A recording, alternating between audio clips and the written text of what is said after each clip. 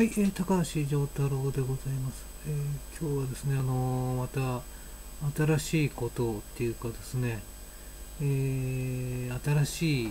わけでもないんですけれども、言葉としては新しい振動数という言葉を聞きましてですね、振動数を上げるといいっていう、え下げちゃいけないんですよっていう話を聞きましてですね、振動数を上げるとこううまくいくという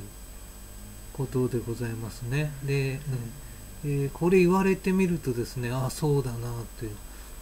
確かにですね、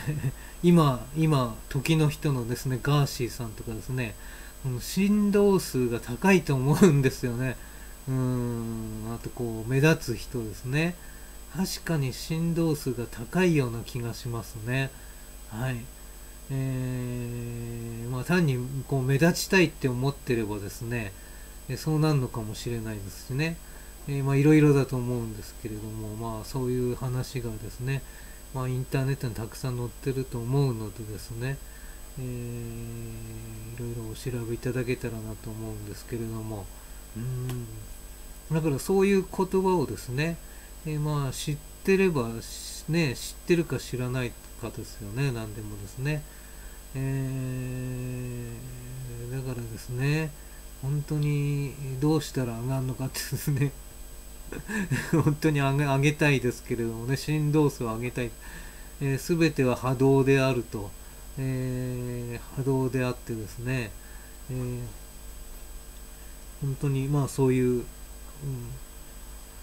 ことですよね、ええ波動波動ですよね。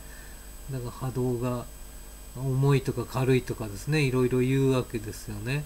えーでどっちがどうっていうことではなくてですね、うん、そういうものがあるという。だからそれと同じですよね。振動だから波動ですよね。振動数が高いという。高い方がいいっていうことですね、えーということでいかがでしょうか。はい、振動数が高い方が物事がうまくいくのではないかというお話が、えー出てきましたですねはいえーえーまたこれちょっとですね、ちょっと考えてっていうかですね、えでも振動してない人はいないんですよね。振動してない人はいないんですよね。だから、その、うん、なんだろう、なんでしょうかね。うん。